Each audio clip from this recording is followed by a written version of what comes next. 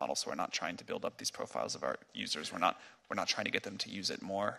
Actually, we'd love it if they use it less because we don't have enough GPUs. Um, but I think other companies are already, uh, and certainly will in the future, use AI models to create you know, very good ad predictions of what a user will like. Uh, I think that's already happening in, in many ways. Ms. Marcus, anything you want to add? Hi, hyper, yes, um, and perhaps Ms. Montgomery will want to too, as well. I don't know, but um, hyper targeting of advertising is definitely going to come. I agree that that's not been OpenAI's business model. Um, of course, now they're working for Microsoft, and I don't know what's in, in Microsoft's thoughts, um, but we will definitely see it. Maybe it will be with open source language models. I, I don't know, but the technology there is, let's say, partway there to being able to do that, and we'll certainly get there. So we're an enterprise technology company, not consumer focused, so the space isn't one that we necessarily operate in in terms of, but these issues are hugely important issues. Um, and it's why we've been out ahead in developing the technology that will help to ensure um, that you can do things like produce a fact sheet that has the ingredients of what your data is trained on um, data sheets, model cards, all those types of things, and calling for, as I've mentioned today, transparency. So you know what the algorithm was trained on. And then you also know and can manage and monitor continuously over the life cycle of an AI model the behavior and the performance of that model. Senator Durbin. Thank you. I think what's happening today in this hearing room is historic. I can't recall when we've had people representing large corporations or private sector entities come before us and plead with us to regulate them. In fact, many people in the Senate have based their careers on the opposite that the economy will thrive if government gets the hell out of the way. And what I'm hearing instead today is that stop me before I innovate again uh, message. And I'm just curious as to how we're going to achieve this. As I mentioned Section 230 in my opening remarks, we learned something there. We decided that in Section 230 that we were basically going to absolve the industry from liability for a period of time as it came into being. Well, Mr. Altman, on the podcast earlier this year, you agreed with host Kara Swisher that Section 230 doesn't apply to generative AI and that developers like OpenAI should not be entitled to full immunity for harms caused by their products. So, what have we learned from 230 that applies to your situation with AI?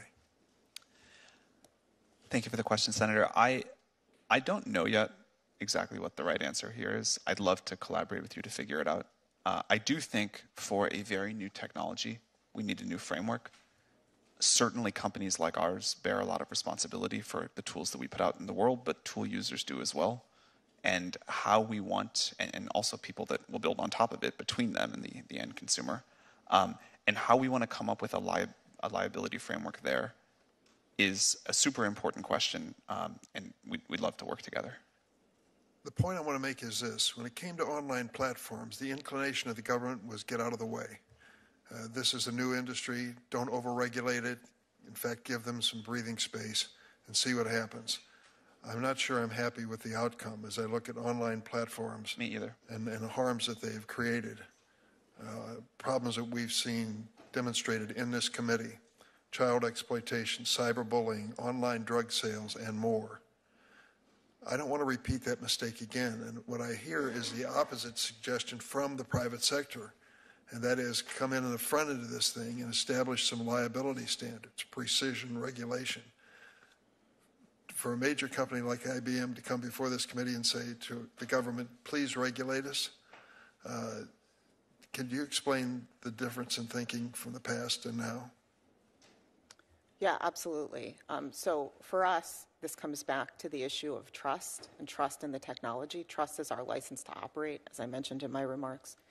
Um, and so we firmly believe, and we've been calling for precision regulation of artificial intelligence for years now. This is not a new position. Um, we think that technology needs to be deployed in a res- responsible and clear way. That people, we've taken principles around that, trust and transparency, we call them, are principles that were articulated years ago, and build them into practices. That's why we're here advocating for precision regulatory approach. So we think that AI should be regulated at the point of risk, essentially, and that's the point at which technology meets society. Let's take a look at what that might appear to be. Members of Congress are a pretty smart lot of people, maybe not as smart as we think we are many times, and government certainly has a capacity to do amazing things. But when you talk about our ability to respond to the current challenge and perceived challenge of the future, challenges which you all have described in terms which are hard to forget. As you said, Mr. Altman, things can go quite wrong. As you said, Mr. Marcus, democracy is threatened. I mean, the magnitude of the challenge you're giving us is substantial. I'm not sure that we respond quickly and with enough expertise to deal with it. Professor Marcus, you made a reference to CERN, the International Arbiter of Nuclear Research, I suppose. I don't know if that's a fair characterization, but it's a characterization I'll start with. What is it, what agency of this government do you think exists that could respond to the challenge that you've laid down today? We have many agencies that can respond in some ways.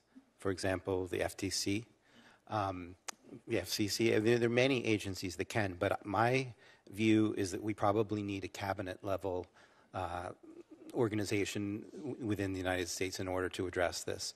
Um, and my reasoning for that is that the number of risks is large, the amount of information to keep up on is so much. I think we need a lot of technical expertise. I think we need a lot of coordination of these efforts. So there is one model here where we stick to only existing law and try to shape all of what we need to do and each agency does their own thing. But I think that AI is going to be such a large part of our future and is so complicated and moving so fast. And this does not fully solve your problem about a dynamic world, um, but it's a step in that direction to have an agency that's full-time job is to do this. I personally have suggested, in fact, that we should want to do this in a global way.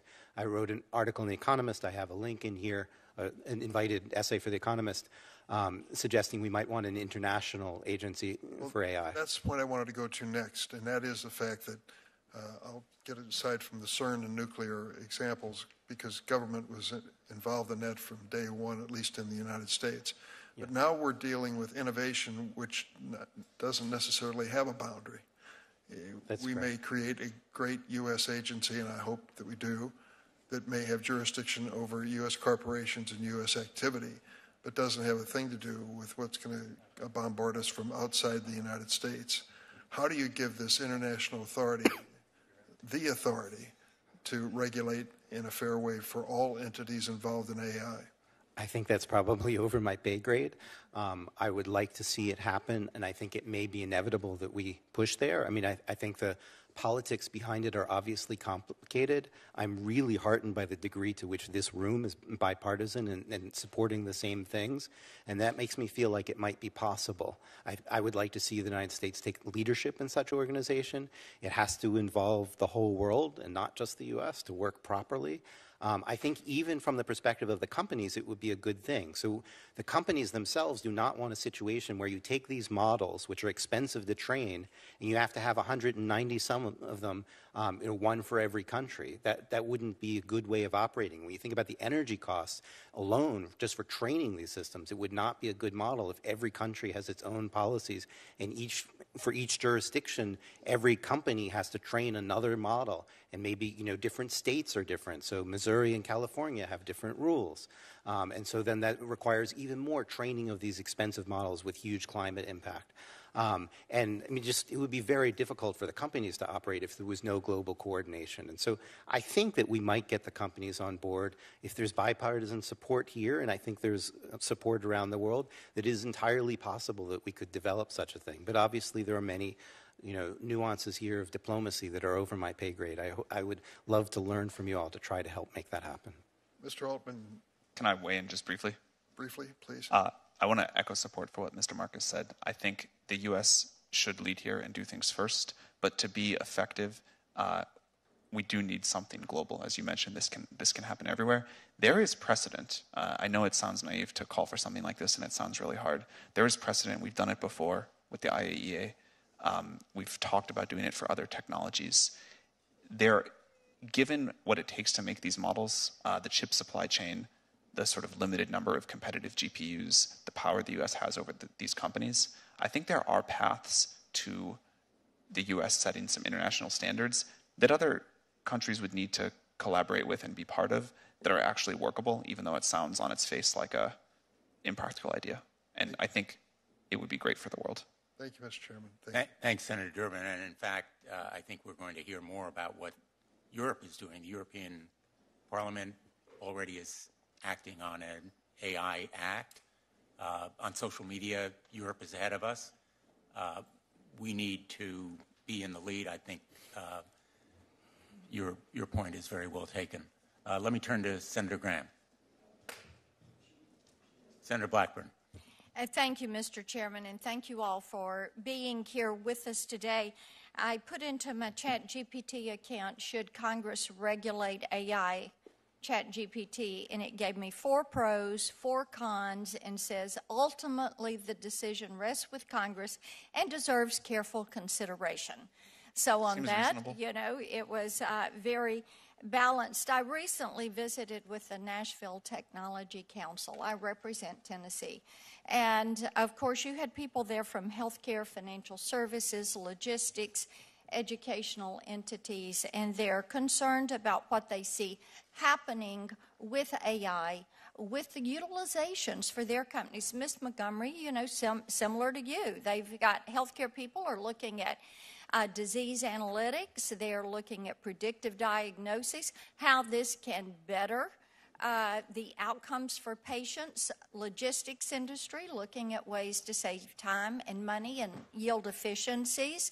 Uh, you've got financial services that are saying, how does this work with quantum? How does it work with blockchain? How can we use this? But uh, it, I think as we have talked with them, Mr. Chairman, one of the things that continues to come up is yes, uh, Professor Marcus, as you were saying, the EU, different entities are ahead of us in this, but we have never established a federally given preemption for online privacy, for data security, and put some of those foundational elements in place, which is something that we need to do as we look at this. And